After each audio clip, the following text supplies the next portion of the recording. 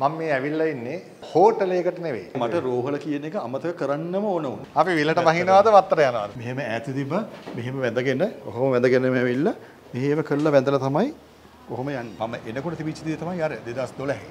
ලෙඩ බිම. විලේදියයි මට කෙතේ නිලයි ගහවැලේ මලයි මට අපපත්චි අන්තිමට අපි යන්න හදන්නේ වැසිකිළියට.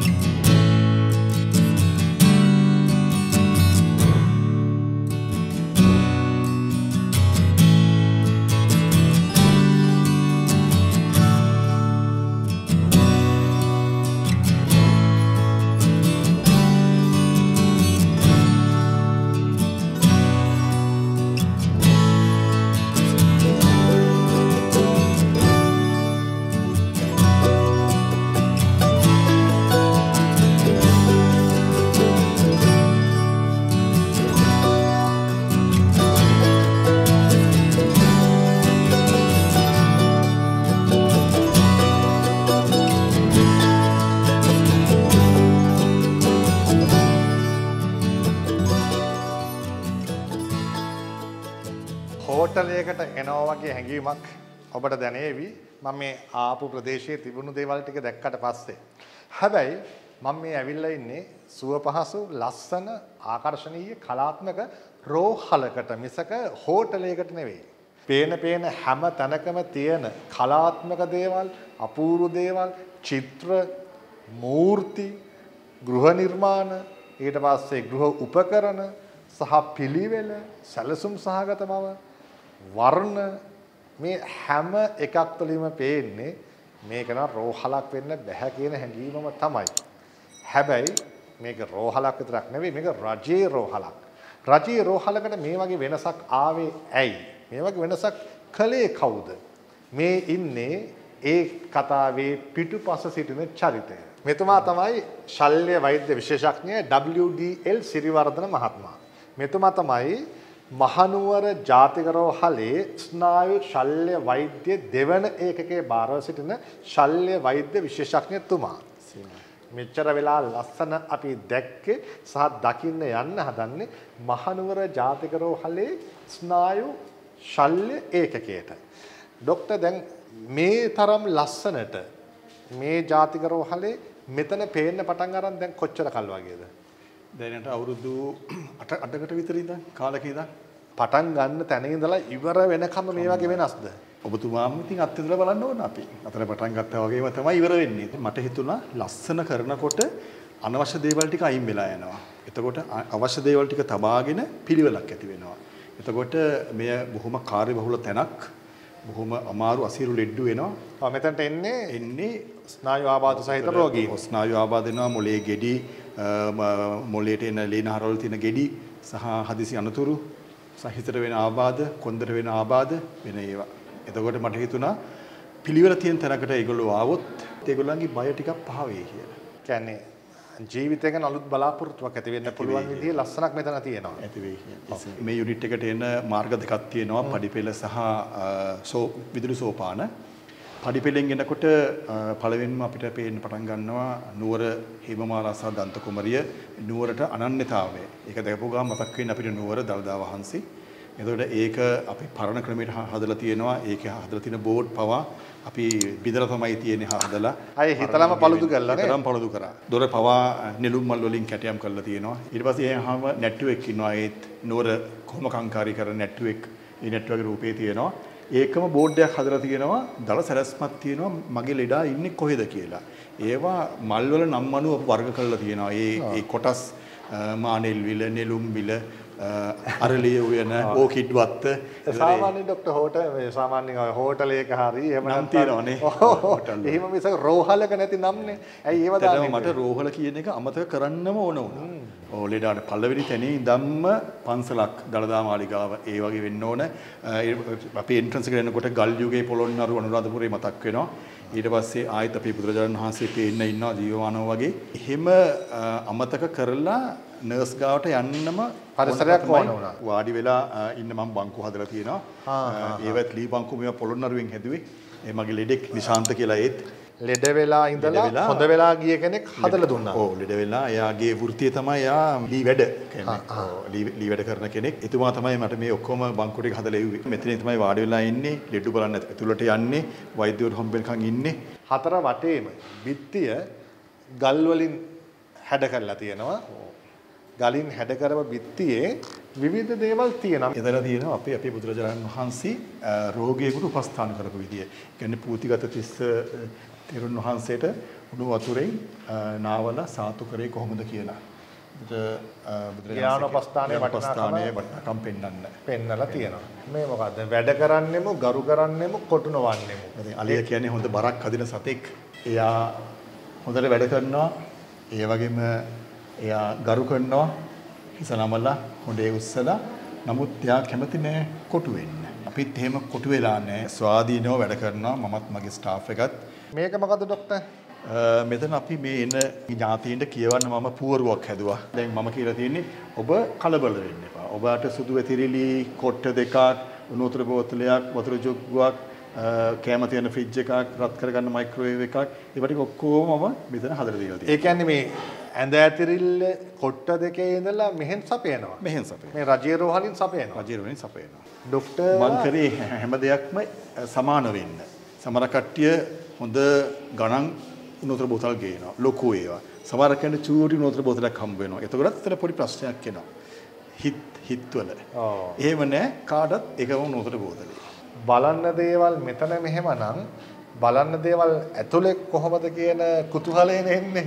ඒ නිසා මේ ප්‍රශ්න උත්තරේ මට ඕන ડોක්ටර් මට ඇතුලට ගිහිල්ලා දැනගන්න. ඇතුළට යන කෙනෙකුට ඔයා කොතනද හරියටම යන්න ඕන කියලා මෙතන ඉඳන් කියන්න පුළුවන්. දැන් අපි මේ ඉන්නේ ඒරියා එක ප්‍රදේශයේ යුවාහිය මේ ලස්සන නෙවෙයි මෙතන සැලසුම තමයි ලස්සන වෙලා තියෙන්නේ. සැලසුම පිළිවෙල. ඔන්න ඇතුළත් වෙනකොටම තියෙන ඉස්සෙල්ලාම අපි කොරිඩෝ එක හරින්ද? දැන් මේ කොරිඩෝ එකේ දැන් තත්ත්වේ ඔයාලට පොඩ්ඩක් වාගේ වංගත පැත්ත බැලුවොත් ඔන්න තියෙනවා බෝඩ් එකක් මම හදලා එදාද. මේ ඔක්කොම කළු පාට අඳුරු පාට බිත්ති තමයි තියෙන්නේ සමයි ස්පිතාලේ සාමාන්‍ය දර බිත්තිය. එතකොට සාමාන්‍ය කාපට් එක මේ වගේ ටයිල් එකක් තිබ්බේ නැහැ. සඳකඩ පහනක අනුරූපයකුත් තියෙනවා නේද? සඳකට පහනක් තියෙනවා. සඳකට පහන උඩින් තමයි ඔබතුමා එවිදගෙන යන්නේ. මෙතනින් එහාට ડોක්ටර් වමටද දකුණටද අපි යන්නේ? අපි අ, ඉස්සෙල්ලා වැඩිපුරම තියෙන්නේ මල්වතු උයන් මේ පිරිම් පැත්තට අපි ඒ පැත්තට යමු. අර කියපු අර අපි මානෙල්විල්ල මානෙල්විල්ල ඕලු ඒ ඔක්කොම මේ පැත්තේ තියෙනවා. තියෙනවා. අපි ඊට කලින් ඔයාට විශේෂ පින්කමක් කරගන්න අවස්ථාවක් දෙන්න ඕන.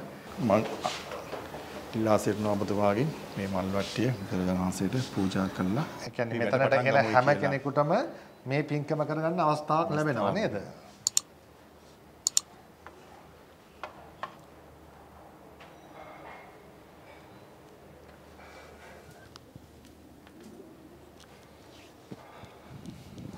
දැන් මෙතන පින්කම් වෙන තැනද මේ වාට්ටුවේ?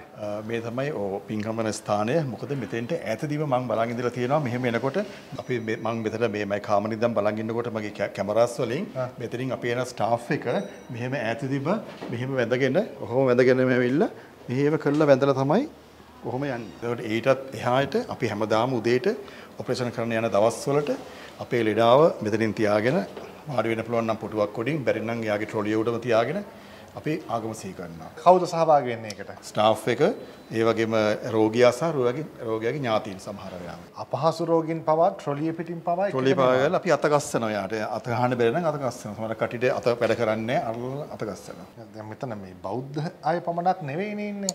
එතකොට කොහොමද මේ අනිත් අයට සමානාත්මතාවය ලබා දීලා තියෙන්නේ? උපරිමව ගරු කරනවා මම අනිත් ආගම් වලටත්. මොකද ආගම කියන්නේ අපි ඔක්කොම එකතු වෙන්න ඕන දෙයක්. ආගමෙන් අපි බෙදෙන්න හොඳ නැහැ ආගමෙන්. එතකොට මම අන්‍ය ආගම් වලටත් හදලා තියෙනවා. මුස්ලිම් රෝගියෙක් ආවොත් අපි මේක තමයි යාට දෙන්නේ. අල්ලන්න උදේට.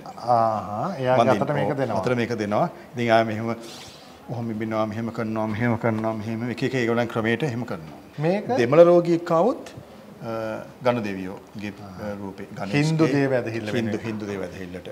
එතකොට ක්‍රිස්තියානි රෝගියෙක් ආවොත් ක්‍රිස්තියානි රෝගියා තමයි මේකෙන් මේ ඔන්න දැන් ડોක්ටර් කිව්වා වගේ මේ පැත්තනේ විල් ගොඩක් තියෙනනේ නෙළුම් විල, ඕලු විල ඔක්කොම. සේරම විල්. අපි එහෙනම් ඒ විලේ අපූර්වත්වය බලන්න යද්දි මෙතන ලස්සනයි. බහින්න කලින් ඕ අර ගැට්ට වගේ. බුදුහාඳුරන්ගේ දුෂ්කර ක්‍රියා පිළි මේ පිළිරුව. දුෂ්කර ක්‍රියා කරන පිළිවෙල. අවස්ථාව දැක්වෙනවා. ඕ එකෙන් දුෂ්කර භාවය පෙන්නනවා.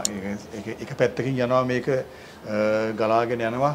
දුෂ්කරයි අමාරුයි අපේ කරන්න වැඩේ. හાર્ඩ් වර්ක් මේ පැත්තින් දීලා තියෙනවා මල් උයනක් මල් විලක් මේ පිපිලා නිල්මානෙල් මල් ලොකු කුරුල්ලෙක් කියනවා කුරුළු පැටවු ඉන්නවා එක පැත්තක හොඳට පිපිච්ච මල් තියෙනවා පොහුට්ටු තියෙනවා පරවිච්ච මල් තියෙනවා ජීවිතේම තියෙනවා. ලොකු දෙයක් ලොකු චිත්‍රයක් එකෙන් කියනවා මේ. පැත්තෙන් දුෂ්කරත්වය තියෙනවා මේ පැත්තෙන් සුන්දරත්වය තියෙනවා. ડોක්ටර්ගේ එක තේමාවක් තමයි මේ බලන්න දේවල් වගේම දැනගන්න දේවල්. ඔව් හිතට ගන්න දේවල් ගොඩක් තියෙනවා. මෙතනක් තියෙනවා. NS values of NS මේ අපිටම මම හදාගත්තු දෙයක් මේ අපිට. ඒතර කැපවීම හා සාමූහික මොකද මට තනියෙන් කරන්න බෑ. මම කපලා ගෙනාවට දැන් මෙතුමා ඊට පස්සේ බලාගන්න රැකමලා ගන්නේ. නර්සස්ලා ෆිසියෝതെරපි තියෙන්නේ මෙතුමා කියලා කියන්නේ මේ නෙළුම් පොකුණේ ඉන්න පළමු රෝගියා. දැන් අතනින් හොයාගෙන ආවා නම් අතන සැලස්මේ තියෙන්නේ සැලස්මේ නැත්තේ නෙළුම්. පොකුණ එක ඇඳ මේ. එක ඇඳ මේක. එතකොට වාට්ටුවත් හරි පිළිවෙලයි ડોක්ටර්. ඒ පිළිවෙල වාට්ටුවේ කලින් ෆොටෝ එකක්ද මේ? ඔව් මොකද දැන් දැන් කෙනෙක් ආවොත් හිතයිනේ ආ මේවා මේ ඒකාන්තම තියෙන්න තියෙයි කියලා. ඔව්. නමුත් එහෙම නෙමෙයි මම එනකොට තිබිච්ච දේ තමයි අර 2012.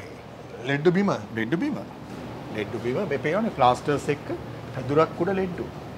එහෙමයි හිටියේ. අනික තිබිලා තියෙන කැඩිච්ච ඇඳවල්. කැඩිච්ච ඇඳවල් කැඩිච්ච යකඩ යකඩ ඇඳවල් ඇඳවල්. දැන් ඒවා හොඳ සුව පහසු ඇඳවල් තියෙනවානේ ඔව් මම මේවා කම්පැනි එකට දාලා හැදෙව්වා. දැන් මේවා ડોක්ටර් රජේ මුදල්ද? රජේ මුදල් නෙමෙයි. මේවා මම හොයාගත්තු මුදල්. කොහොමද හොයාගත්තේ ડોක්ටර් හොයාගත්තේ මුලින්ම තමන්ගේ සේවය හොඳට කරනවා ඉෂ්ට කරනවා. එතකොට රෝගියා සහ රෝගීන්ගේ හිතවතුන් සතුටටපත් වෙනවා. ඒගොල්ලොම අහනවා මොකක්ද අපිට කරන්න ඕන මොකද හදන බව පේනවනේ මමත් කියනවා මේක මං හදමින් පවතින්නේ කියලා අපෙන් මොකද්ද කරන්න ඕන කියලා එහෙම කළා තමයි මේ බොහෝ වැඩ මේ ඉෂ්ට කරගන්න පුළුවන් මේ ඉස්සරහා තියෙන මොකද HDU. නා අරණ. එතන High වෙන් කරලා තියෙන dependency, ડોක්ටර්. ඒක හයි ඩිපෙන්ඩන්සි යුනිට් කියන්නේ එතන ඉන්නෙත් අසීරු රෝගීන් දැඩි සත්කාරයෙන් එන්නේ කෙලින්ම මෙතෙන්ට. එතකොට ඒගොල්ලන්ටත් දැඩිව නිරීක්ෂණය අවශ්‍යයි. මම කරේ කලින් තිබිච්ච වාට්ටුව වැහුවා පාටිෂන් එකක් දාලා දාලා බඩුත් හොයාගෙන කරන්ට් එකත් අරගෙන ඒක ඒසීත් කරගෙන ඒක මේ දැඩි සත්කාරයක් කරා. ඒ ඔක්කොට පරිත්‍යාගශීලීන් හිටියා. ප්‍රසල්ගෙන් හිටියා. එතන තියෙන උපකරණත් පරිත්‍යාගශීලීන් දුන්නාද? ඒවත් ප්‍රත්‍යක්ෂ එකක් තියෙනවා මේකේ වෙන්ටිලේටර් එක ලක්ෂ 14ක් වෙන්ටිලේටර් එක. ඒක එව්වි අ, කොහොම හරි අ, පිටරටක මට නම චුට්ටක් මම මතක නෑ ඒ රටේ ඒ ආපු ළමයා ඔපරේෂන් එකක් කළා හොඳ වුණා. හොඳ වෙලා ඒගොල්ලෝ එහෙ ගිහලා ගොඩක් පොසත් කට්ටිය නෙමේ සල්ලි එකතු කරලා ලොකු කැම්පේන් එකක් කරා ඒගොල්ලෝ. ඒක කරලා තමයි සල්ලි මට හදලා එව්වේ. ડોක්ටර් දැන් මෙතනට අවිල්ලා කොච්චර කල්ද මේ වාට්ටුව බාරව? දැන් මගේ අවුරුදු 10ක් පැන්නා. එතකොට මේ වැඩේට අත ගැහුවේ මේ වැඩේ මේ වාට්ටුව ලස්සන කරන්න සහ සැලසුම් කළේ ඇවිල්ලා මාස දෙකක් විතර යනකොටම පටන් ගත්තා. හොඳ සිස්ටර් කෙනෙක් හිටියා සිස්ටර් මාරසිංහ කියලා. ඉතින් එයා මට අම්මෙක් වගේ සිස්ටර් මට ගොඩක් උදව් කරා. කකුලෙන් ඇද්දේ නෑ. ඉතින් ඒක නිසා ලොකු ගමනක් යන්න පුළුවන් වුණා සිස්ටර්ත් එක්ක. ඊළඟට මොකක්ද හම්බ වෙනා? ඕකිඩ් වත්ත. ඇයි ඔබතුමාට පේන්නද මානෙල් විල? දෙපැත්තම නේද? අපි විලට බහිනවද වත්තට යනවද? වත්තට. වත්තට යනකොට වැඩක් පේන්නේ වත්තට යනවා. ඕකිඩ් වත්තේ රෝගියෙකුට උපස්ථාන මේ ඥාතියෙක්ද? නෑ ඒ මගේ ස්ටාෆ් එකේ මගේ මහත්මයෙක් රෝගියෙකුට කෙහෙල් ගෙඩියක් ආවා. ඥාතීන්ට ඒ අවස්ථාව හම්බෙන්නේ ඒගොල්ලන්ට හම්බෙන වෙලාවෙදි විතරයි. ඔව්. ඉතුරු හැම වැඩක්ම රෝගියා පිරිසිදු කිරීම, රුවාගේ නිය- නියපොතු කැපීම, එයාගේ මල මූත්‍ර පවස් කිරීම, රෝගියා නැහැවි නැහැවීම.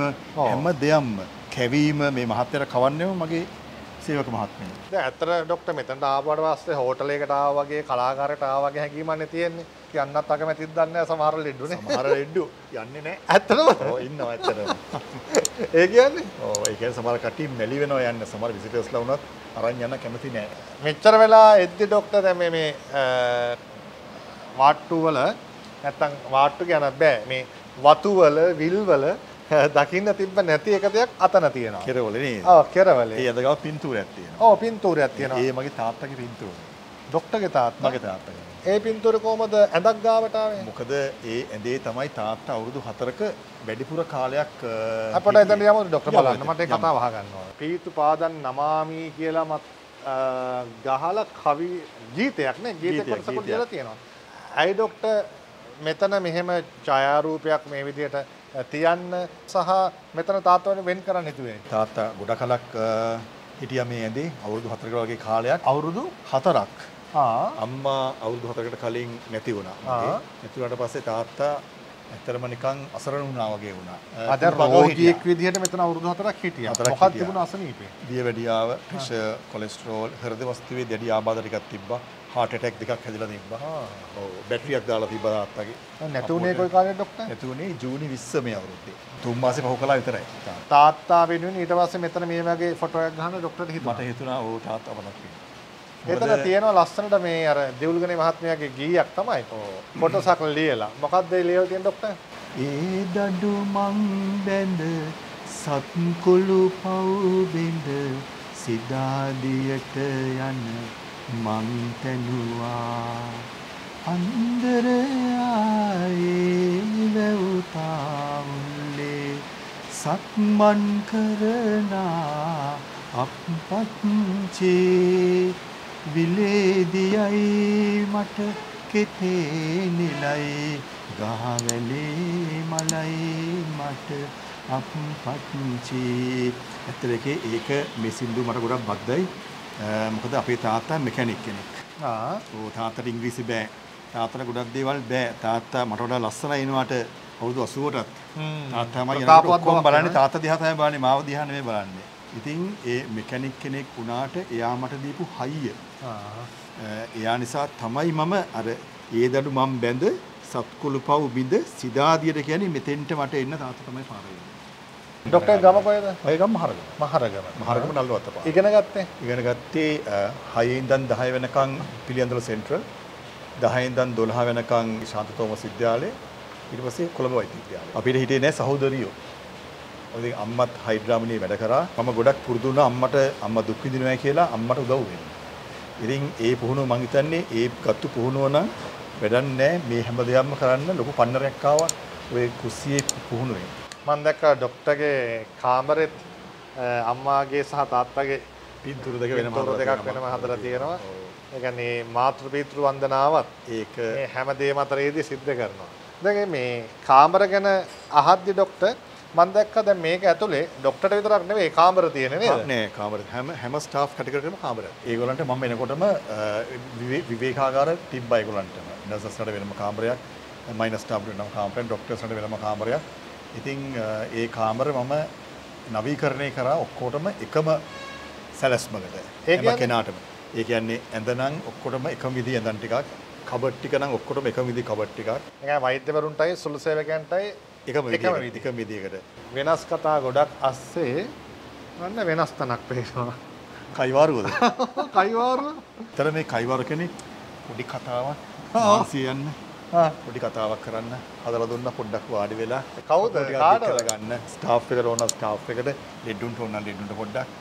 පත්තර කියෝ ගන්න පොතක් පතක් ඕන කියෝ ගන්න ඈතින් පේනවද නිකන් අර තව වතුරක් වැවක් වගේ ඈතට චෛත්‍යයක් එක්ක.